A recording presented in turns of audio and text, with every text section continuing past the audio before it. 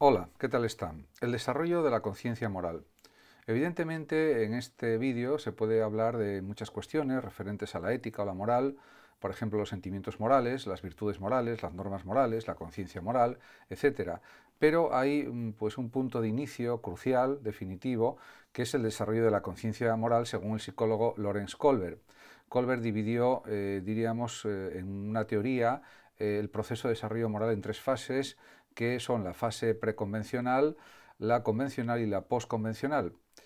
Mm, podemos decir que, mm, según este psicólogo, estas tres fases o niveles se van alcanzando a medida que eh, cada sujeto va creciendo y aprendiendo. Dentro de la fase preconvencional, pues hay una primera etapa en la que se respetan las normas por obediencia y también fundamentalmente por temor al castigo, y una segunda etapa en la que se aceptan las normas que favorecen los intereses personales. Una fase posterior es la denominada fase convencional, en la que se cumplen las normas por el deseo de agradar a los demás y eh, que también en una segunda etapa de esta fase convencional pues también se aceptan las normas porque se considera necesario comprometerse con el interés general de la sociedad. Y por último está la fase postconvencional en la que en la primera etapa se aceptan las normas de la cultura propia porque son un claro resultado del consenso pero eh, también se entiende o se comprende que otros pueden tener otras normas diferentes. Y en una segunda etapa de esta fase postconvencional, pues eh, también se entiende que hay principios morales universales que están por encima de cualquier norma y que deben ser respetados por todos, podríamos decir. Realmente la moral o la ética supone ser libres, mm, ciertamente, para elegir entre varias opciones, y eso es un privilegio exclusivo de los seres humanos. En la vida tenemos mm, pues, eh, infinidad de oportunidades de desarrollar conductas diferentes, de tomar decisiones diferentes, diversas, y eh, diríamos que esa es eh, la gran virtud de la experiencia humana. diríamos que el gran beneficio que tenemos al ser libres, pero eso también implica pues, una cierta responsabilidad en lo que decidimos una responsabilidad mayor, mucho mayor que la de los animales, que se guían por los instintos fundamentalmente.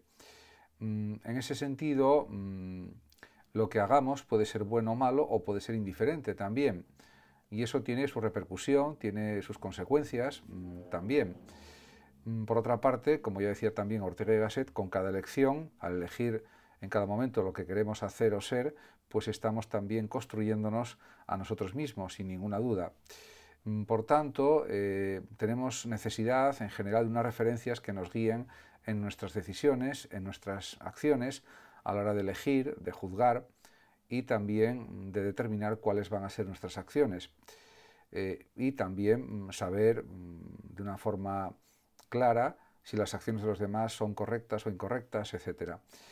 En este sentido, pues está claro que intervienen también los sentimientos morales.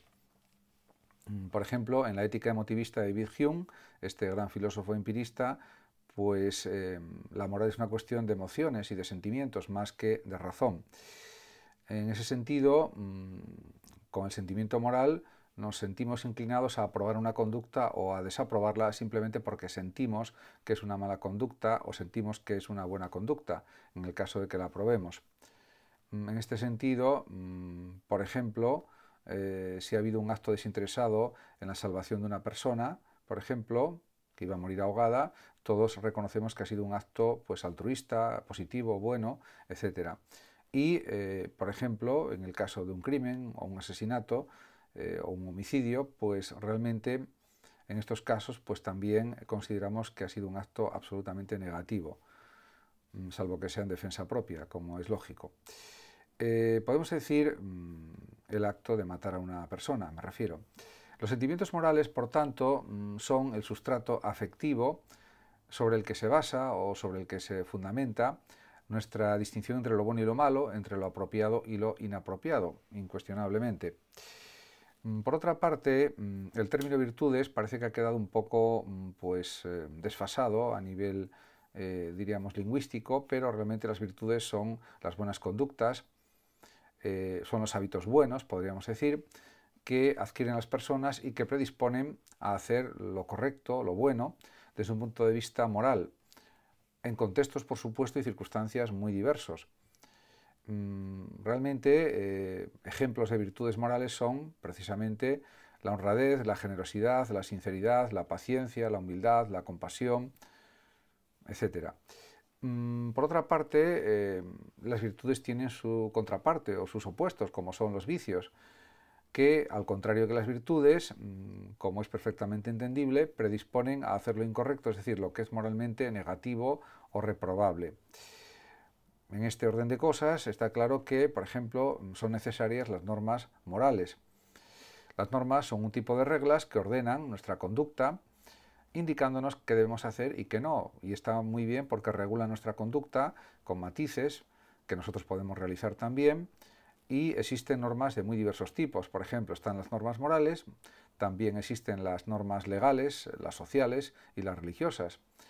Y eh, podemos decir que lo que distingue las normas morales de las legales es que las normas legales son coercitivas, son coactivas, en cambio las normas éticas no son coercitivas, pero mm, diríamos que influyen en nuestra conciencia ética, influyen en nuestra capacidad de actuar y eh, realmente mm, la propia persona es la que tiene que juzgar si ha cumplido con las normas éticas o no. Y además también hay que decir que las normas legales se basan en gran medida en las normas éticas también, a su vez, con la diferencia que antes he puesto de manifiesto, que las normas legales son coactivas y las éticas no aunque obligan en conciencia, podríamos decir. Lo que sucede es que la conciencia es algo subjetivo, personal, y en ese sentido está en otra dimensión valorativa diferente a lo que representan las normas legales o las leyes, podríamos decir. En cuanto a la conciencia moral, pues mm, es la capacidad o la facultad que poseemos los seres humanos mm, con las que captamos los principios generales eh, que eh, definen lo que es bueno y lo que es malo y podemos decir que mm, no nacemos con la conciencia moral plenamente desarrollada, hay que educarla, mm, diríamos si se educa, sobre todo en la infancia, en la adolescencia, para que de esa manera eh, sigamos una buena conducta y eh, eso pues, sea algo positivo para la propia vida de cada sujeto. De hecho, una conciencia moral ya madura es capaz de juzgar la conducta propia y la de los demás, aplicando a casos concretos los principios generales por los que diferenciamos o por los que distinguimos lo bueno de lo que no lo es. En ciertamente sobre estas cuestiones hay muchísimos textos, muchísimos libros y artículos, infinidad de ellos, que podríamos eh, tomar como ejemplo para explicar mejor esta cuestión del desarrollo moral. Pero me voy a fijar solamente en tres textos eh, que creo que son suficientes para dar una idea general de lo que quiero expresar o decir.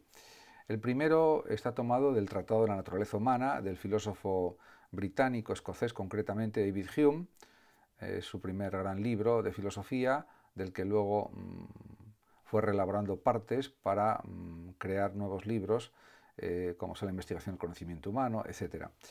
Mm, realmente eh, el propio Hume, que era un emotivista y era un empirista, y era un pensador también utilitarista, dice eh, en un fragmento del libro lo siguiente, referido a la base de las distinciones morales. El vicio y la virtud, escribe Hume, no pueden ser descubiertos simplemente por la razón o comparación de ideas. Tan solo mediante alguna impresión o sentimiento que produzcan en nosotros podremos señalar la diferencia entre ambos. ¿Por qué será virtuosa o viciosa una acción, sentimiento o carácter, sino porque su examen produce, una, produce un determinado placer o malestar? Por lo tanto, al dar una razón de este placer o malestar, explicamos suficientemente el vicio o la virtud. Al final, dando explicación de lo que sentimos ante un acto o comportamiento o conducta, pues ya definimos o determinamos si es bueno o malo a través de los sentimientos y no a través de la pura razón o de la razón como pensaba el mismo Kant, otro gran filósofo del siglo XVIII, que aunque pues, eh, fue influido por la lectura de Hume, realmente le despertó del sueño dogmático y eh, le impulsó a desarrollar pues, una filosofía trascendental, eh, diríamos un criticismo trascendental, un criticismo en definitiva que se basa en la integración de lo empírico con, em, diríamos, eh, con su sistema a priorístico también, lo empírico y lo propio de la razón, o la razón y los sentidos. Eh, diríamos que el sistema kantiano es una mezcla de empirismo y racionalismo. Otro texto que también mm, puede mm, ser suficiente para aclarar más lo que yo quiero expresar es el siguiente. Uno eh, que se titula Heteronomía y Autonomía Moral, que está en agrega.juntadandalucía.es. En este texto pues, se dice lo siguiente. ¿Eres una persona moralmente autónoma o por el contrario eres dependiente, heterónoma, por lo que respecta a la moral? He aquí otra importante cuestión referida a la ética. Si tomas tus propias decisiones éticas basándote en tus criterios de forma autónoma, podríamos decir que gozas de autonomía moral. Para Kant, ese es el distintivo de la verdadera ética. Por el contrario, la persona heterónoma no toma sus propias decisiones, actúa de conformidad con la autoridad o con lo que dice la mayoría. No es por lo tanto un sujeto libre y racional que sigue sus propias normas, que eso mm, pues eh, sería lo que pretende el propio Kant con su ética deontológica o del deber por el deber. Es una ética que se basa en la razón y que no se basa en los sentimientos y en las emociones y en las inclinaciones, porque si se basa en las inclinaciones, según Kant, no sería una ética categórica, una ética propia del imperativo categórico, una ética rigurosa, basada en la razón, sino una ética relativista, una ética eh, que podemos decir eh, materialista, en cierto sentido, indudable porque eh, no habría una norma fija de actuación para nadie, porque todo dependería de las circunstancias, de las situaciones, de los sentimientos de cada persona en cada momento, y no habría eh, pues una adecuada armonía en las conductas, una armonía social mínima, por lo menos, que respetara los derechos de los demás, sino que los derechos de los demás quedarían, eh, diríamos, mm, pues frente mm, al azar de las decisiones de las personas que no tendrían unas reglas de conducta mínimas para comportarse. En ese sentido, la razón establece unos parámetros básicos de comportamiento que todos tienen que cumplir para que se respeten los derechos de todos. Y esto desaparecería con pues, éticas materialistas, éticas eh, de otro tipo, mm, que no son las propias de Kant, que es una ética de la razón. En cualquier caso, por otra parte, Kant también insiste en el sapereo de atrévete a pensar por ti mismo, a razonar por ti mismo, y a ser responsable en tus actos y en tus decisiones, lógicamente eh, aprovechando tus posibilidades, pero sin, eh, diríamos, faltar el respeto a los demás y respetando siempre la dignidad de todas las personas. A partir de ahí, cada persona es libre, puede hacer absolutamente lo que quiera. Hay infinidad de posibilidades en la vida, siempre que se cumplan las leyes, se respeten las normas, las normas éticas también, y em, eso es lo que plantea el propio Kant de una forma muy resumida. Eh, también, por supuesto, mm, sobre los sentimientos morales hay muchos textos escritos, infinidad de ellos, artículos, libros, etcétera, pero ensayos, etcétera. Pero realmente, pues este fragmento del país mm, del año 2016 puede ser suficiente para clarificar eh, pues algunas cuestiones más en relación con, mm, diríamos, los referentes de la moral y también en relación con el desarrollo moral. El texto se titula La corrupción de los sentimientos morales y dice, el abandono consciente de los perdedores de la crisis económica y la justificación de la desigualdad de renta fue considerado ya por el filósofo Adam Smith no sólo como moralmente reprobable, sino también como destructivo para el propio sistema. En palabras del propio Smith, sacadas de su teoría de los sentimientos morales, esta disposición a admirar y casi a idolatrar a los ricos y poderosos y a despreciar o como mínimo ignorar a las personas pobres y de condición humilde es la, mm, es la principal y más extendida causa de corrupción de los sentimientos morales. Aquí, eh, pues en este fragmento de Adam Smith, este gran economista y filósofo también, gran amigo por otra parte de David Hume, los dos eran grandes amigos, pues eh, realmente eh, es un texto pues muy profundo porque efectivamente todos tenemos derecho a una vida eh, con suficientes medios económicos para poder vivir con dignidad. Y esto en el siglo XVIII pues, em, era una utopía, una ilusión para una gran parte de la gente, para la mayoría, diría yo. Está claro. Y había muchísima pobreza mm, en Europa, en el mundo, etc. Y en ese sentido, Adam Smith pues, insiste en que no se puede ignorar o despreciar a las personas pobres e idolatrar a los ricos y poderosos. Y claro, eso lo que hace es, como dice él, mm, corromper o echar tierra sobre los sentimientos morales, como dando eh, pues una indicación de que lo único que vale es la fuerza, es el poder sobre los demás, es la dominación sobre los demás para conseguir los objetivos eh, propios y de esa manera pues se produce la guerra de todos contra todos, el sálvese quien pueda, que es lo que imperaba también, por supuesto, como hoy en día, en el siglo XXI, también imperaba en el siglo XVIII, por desgracia.